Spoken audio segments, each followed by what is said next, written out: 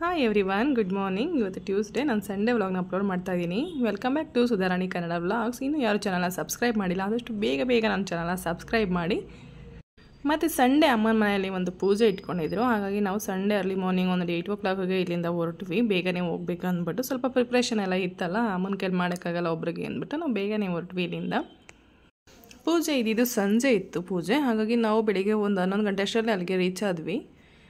ಮತ್ತು ತಿಂಡಿ ಎಲ್ಲ ಅಲ್ಲೇ ಮುಗಿಸ್ಕೊಂಡು ಎಲ್ಲ ಸ್ನಾನ ಎಲ್ಲ ಮುಗಿಸಿ ಮತ್ತು ಆಮೇಲೆ ಪ್ರಿಪ್ರೇಷನ್ ಮಾಡೋಣ, ಅಡುಗೆ ಎಲ್ಲ ಮಾಡೋಣ ಅಂದ್ಬಿಟ್ಟು ರೆಡಿ ಮಾಡ್ಕೊಂಡು ಮಾಡ್ತಾಯಿದ್ವಿ ನಮ್ಮ ದೊಡ್ಡಮ್ಮನ ಮಗಳು, ನಮ್ಮ ಅಕ್ಕ ಕೂಡ ಬಂದಿದ್ದು. ಅವಳು, ನಾನು ಇಬ್ಬರು ಸೇರ್ಕೊಂಡು ಮಾಡೋಣ ಅಂದ್ಬಿಟ್ಟು ನಮ್ಮ ಅಮ್ಮನೂ ಸ್ವಲ್ಪ ಆಗಾಗ ಹೆಲ್ಪ್ ಮಾಡ್ತಾಯಿದ್ರು ನಮಗೆ. ಮತ್ತು ನಾವೆಲ್ಲ ಅಡುಗೆ ಎಲ್ಲ ಒಂದು ಐದೂವರೆ ಅಷ್ಟರಲ್ಲಿ ಅಡುಗೆ ಎಲ್ಲ ರೆಡಿ ಮಾಡಿದ್ವಿ. ಆಮೇಲೆ ಅವ್ರು ಬಂದರು ಇಬ್ಬರು ಪೂಜೆ ಮಾಡೋಕ್ಕೆ ಅಂತ ಬಂದರು ಇಬ್ಬರು ಅವ್ರು ಬಂದಮೇಲೆ ಸ್ವಲ್ಪ ಊಟ ಎಲ್ಲ ತೊಗೊಂಡೋಗಿ ಅವ್ರು ಹೇಳಿದ ಕಡೆ ಎಲ್ಲ ನಾವು ಇಡಬೇಕು ನೀಟಾಗಿ. ಅವ್ರು ದೇವ್ರು ತೊಗೊಂಡು ಬಂದಿರ್ತಾರೆ. ನಾವು ಊಟ ಎಲ್ಲ ದೇವ್ರಿಗೆ ಅವ್ರು ಜೋಡಿಸ್ಕೊಂಡ್ಮೇಲೆ ನಾವು ಊಟ ಎಲ್ಲ ಇಡಬೇಕು.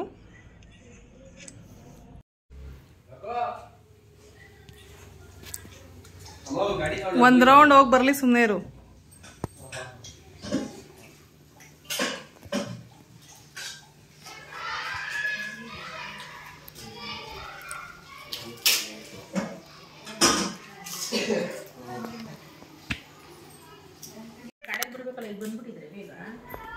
ಫೋನ್ ಮಾಡಿಲ್ಲ ಅಂತಾನೆ ಬರ್ಲಿಲ್ವ?